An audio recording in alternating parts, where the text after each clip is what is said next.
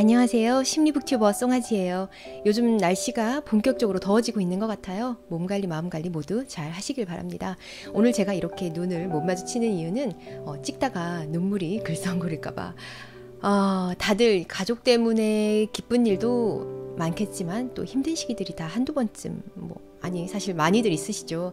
다 그렇진 않겠지만, 어, 심리 공부하는 사람들도 자기 문제가 되면 어렵습니다. 관계로 엮이지 않은 그런 타인의 문제는 객관적으로 볼 수 있지만 그 가족이라는 관계 안에 있을 때는 이렇게 객관성을 가지고 나 자신이나 아니면 영향을 주고받고 있는 우리 가족의 문제를 좀 들여다보기가 참 어려운 것 같아요. 수용 전념 치료나 메타인지 치료책 소개하면서 이 객관화하는 것, 또 차원을 높여서 이런 자신이나 상황을 바라보는 것에 대한 이야기를 참 많이 했었는데 어, 막상 저의 문제가 되니까 좀 허덕거린다는 거 인감이 느껴지지 않나요? 괜찮죠?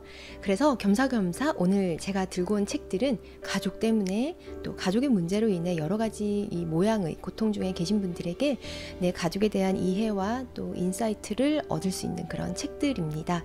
사실 한 사람의 그런 심리적 그 고통의 문제에 대해서 영향을 미친 이제 요인들을 이렇게 찾아 거슬러 올라가다 보면 많은 부분이 가족으로부터 영향을 받아서 시작된 경우가 참 많은 것 같아요. 예를 들어 뭐 아버지의 알코올 중독이나 어머니의 우울증 그리고 끝없는 부부싸움, 뭐 자녀에게 행해지는 학대나 폭력 같은 이런 완전히 대놓고 가족으로부터 이런 부정적 영향을 받았다는 것을 스스로 충분히 인식할 수 있을 정도로 또 가족 문제가 이렇게 수면 위로 드러나 있는 경우부터 시작해서 즉 우리 가족이 멍이 들고 살이 찢어지고 또 출혈이 난 게 눈에 보이는 거죠. 하지만 반대로 지금 내가 겪고 있는 이 나의 심리적 문제나 고통이 우리 가족 관계 안에서 영향을 그러니까 받아서 생겨난 건 줄은 전혀 꿈에도 몰랐다고 할 정도로 전혀 자신의 이 심리 문제의 배경에 대한 insight가 전혀 없는 경우까지 사실 알고 보면 이 경우도 수면 위로 가족의 문제가 드러나진 않았지만 즉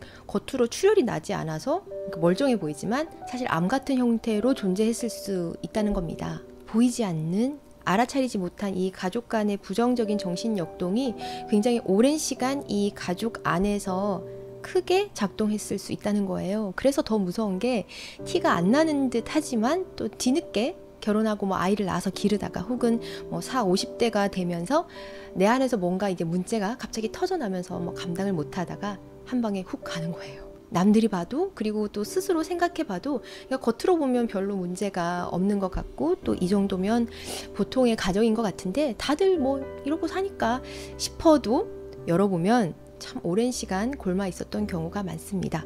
가족은 태어나서 이렇게 삶을 살아가는데 가장 중요한 관계이면서 또 가장 오랜 시간 직접적으로 이렇게 살갗을 부딪히면서 서로의 생각과 감정과 이 행동에 깊이 영향을 주고 받으니까요. 우리 아이가 달라졌어요에 나오는 그런 그 문제를 일으키는 아이들이 있죠. 혹은 요즘 청소년들에게서 이게 많이 나타나는 뭐 거식증, 폭식증, 자해 같은 경우도 뭐 그 아이, 그 사람 자체의 문제가 있다고 생각해서 뭐 자해 나 폭력이라는 그 증상으로 드러난 내용만을 파악해서 뭐 생각을 바꾸고 행동을 수정시키는 방향으로 접근해보자라는 하는 치료적 관점이라기보다 가족 치료적 접근에서 보면 사실 이 아이의 문제의 발단이 이 아이로부터만 온 것이 아닐 수 있다는 거죠.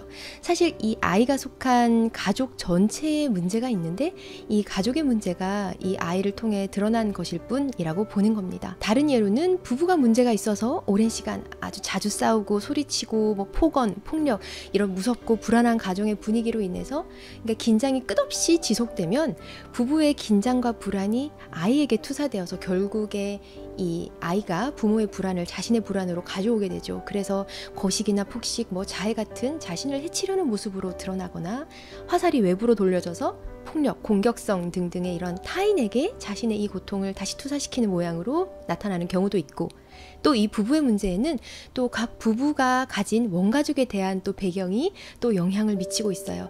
이런 모든 요인들의 어떤 복합적인 결과로 인해서 현재 이 가족이 가지게 된 문제를 이 아이가 떠맡게 되었고 증상으로 드러난 것으로 보는 것이 가족 치료적 접근들 중 하나의 관점입니다. 어떻게 보면 이 아이는 어, 세대로 전수된 이런 가족 문제의 희생양이라고도 표현할 수 있어요. 물론 이게 전부는 아니고 또 일부만 말씀드렸지만 이렇게 어, 가족 치료적 접근의 한 예를 통해서 한 사람의 문제를 새로운 관점에서 이해를 한번 해봤는데 또 이렇게 가족의 문제가 있다고 하더라도 또 아이들의 문제나 증상을 나타내진 않아요. 어떻게 보면 충분히 가족의 문제를 떠안고 또 증상을 일으킬 수 있을 만한 환경이지만 이 문제나 그 증상 대신에 자신의 환경을 이기고 승화를 시킬 수도 있어요. 지금 떠오르는 거는 최근에 배움의 발견이라는 책 아시죠?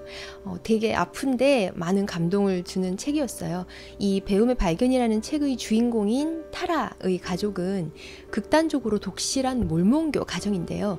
이 종교적 신념을 그릇되게 가지고 있어요. 그래서 이로 인해서 교육이나 어떤 사회적 활동에 대한 무지함의 끝판왕을 보여주는데요. 자녀들을 교육이나 이런 사회적 접촉으로부터 철저히 고립시킵니다. 자녀들에 대한 이런 정서적 학대를 넘어서서 폭력도 일어나죠. 이 부모의 자식을 향한 조종과 통제, 그리고 또 가족에 대한 충성심을 요구하고 또 여기에 다 표현은 못하지만 아이가 절대 감당할 수 없을 것 같은 그런 잔인할 정도의 어떤 몸과 마음의 고통을 경험하며 자랍니다. 사실 어떻게 죽지 않고 살아냈는지가 놀라울 정도예요. 하지만 이 타라는 결국 캠브리지대에서 석사 박사를 받고 또 하버드에서 연구원도 하고 또 타임지가 선정한 세계에서 영향력 있는 백인에도 들어가게 되었어요. 이 이야기를 하는 건 우리에게 주어진 첫 가족이라는 그 환경은 우리가 선택할 수 없었지만 이 환경에서 살아내는 내 삶에 대한 어떤 그 마음의 태도를 선택하는 건 온전히 내 자유인 거예요. 힘들지만. 근데 이 온전한 자유인 내 마음의 이 태도를 어떻게 가지고 또 사용을 해야 하는지 또 그 방법을 몰라서 그리고 이 이전에 나를 이 괴롭히는 생각들이 있어요. 뭐 내 가족에 대한 이해를 전혀 못하겠고 우리 가족은 왜 그랬을까? 우리 부모님은 왜 그랬을까? 왜 나에게 어, 그럴까? 왜 그럴 수밖에 없었을까? 우리 가족은 왜 이렇게 되었을까? 이런 어떤 해결하지 못한 질문들에 대해서 오늘 소개시켜 드릴 이 세 권의 책을 통해 여러 가지 가족 치료적 관점과 또 다양한 개념들을 어느 정도 내 가족을 이해할 수 있는 기회가 될 수 있을 거고 또 아직 이런 가정 환경 속에 있지만 그리고 이런 가정 환경 속에서 어찌어찌 살아냈지만 지금 마음에 암덩어리를 쥐고 있다든지 등등 각자가 지금 서 있는 곳에 서 가족으로부터 받은 부정적인 영향으로부터 어떻게 정서적 독립을 어, 이루어낼 수 있을까 이런 것들에 대해 저자들의 이런 가족 치료적 관점의 지식과 또 사례들 풍성한 경험들을 통해서 도움을 받을 수 있을 거예요.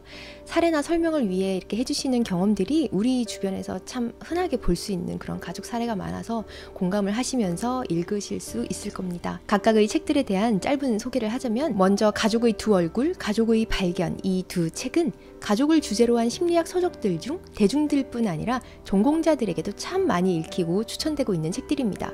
이 두 책은 가족 심리 치료 전문가이신 최광현 교수님의 책들인데요. 일반 상담에서 사용되는 그런 개념들과는 좀 다른 가족 치료적 관점에서만 쓰이는 개념들이 있어요. 이론들도 다양하고요. 보엔, 뭐 사티어, 미누친 그 외에 뭐 이야기 치료 등등 더 있는데 이들 중 가장 중요도가 높고 핵심이 되는 개념들을 가져와서 다양한 가족 문제의 상 상황들을 이렇게 예시로 들면서 친절하게 설명을 해 주셔요. 읽다 보면은 이 가족이라는 이름으로 행해지는 일어나는 이런 많은 모습들이 참 세상의 축소판이구나라는 생각이 들 정도로 모든 종류의 역동들이 가족 안에서 다 일어나고 있어요. 가장 서로가 사랑해야 할 가족인데 참 왜 그럴까 이해가 되지 않지만 이 세상에도 이해 못할 일들이 한가득이잖아요. 그래서 작은 세상이라고 할 수 있는 이 가족 안에서의 치유의 과정이 결국 세상을 이해하고 세상과 화해하고 살아내는 과정의 한 모습인 것 같아요. 가족의 두 얼굴이 2012년도에 먼저 나오고 가족의 발견이 2014년도에 출간되었는데요. 두 책 다 비슷한 결을 가지고 있긴 하지만 내용이 막 중첩되지는 않고요. 특히 최광현 최현 교수님의 주 분야인 가족 치료적 관점 외에도 일반 상담 이론에서 쓰이는 많은 개념들, 또 트라우마 치료적 접근, 그리고 개인적 관심사라고 하신 융에 대한 이해를 바탕으로 가족의 문제를 이해하는 데 도움을 많이 주시고 있습니다. 자세한 내용들 하나하나를 다 나누지 않는 것은 제가 이제 가족 상담 공부하고 있기 때문에 앞으로 어, 가족 치료적 관점의 이론이나 그런 개념 하나하나에 대한 자세한 설명을 담은 영상들을 하나하나씩 찍어 나갈 예정이기 때문입니다. 그래서 그 영상들을 찍을 때 가족 치료에서 사용되는 이론적 개념들이나 이 사례를 들 때 이 책들에서 참고할 부분이 있으면 하나씩 꺼내서 쓸 예정이기 때문에 오늘은 이렇게 간단하게 아웃라인만 말씀드리고 넘어갈게요. 다음 책은 가족의 세계라는 신간이에요.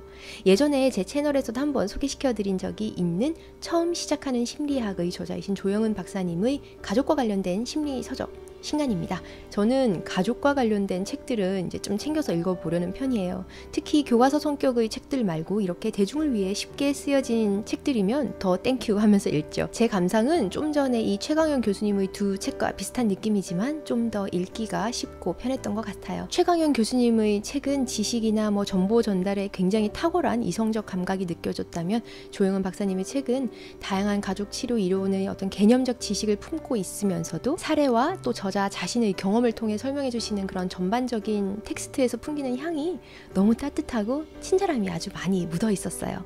읽는 것만으로 힐링되는 느낌인 거죠. 심리학이나 가족 치료에 대한 베이스가 전혀 없어도 읽는데 아무런 무리 없이 읽으실 수 있습니다. 개인적으로 박사님이 젊은 선생님이신데도 굉장히 경험 많고 인생 많이 사신 그런 노련한 나이든 supervisor 같은 내공이 있구나라고 생각이 들었어요. 너무 귀한 책이고요. 많은 분들에게 읽히면 좋겠다는 생각이 들었습니다. 어, 좋은 책이 너무 많아요. 요즘같이 이렇게 풍성하게 심리 관련하여 quality 높은 책들을 이렇게 많이 읽을 수 있는 시대여서 참 감사하다는 생각을 했습니다. 오늘도 봐주셔서 감사드리고 다음 영상에서 만나겠습니다.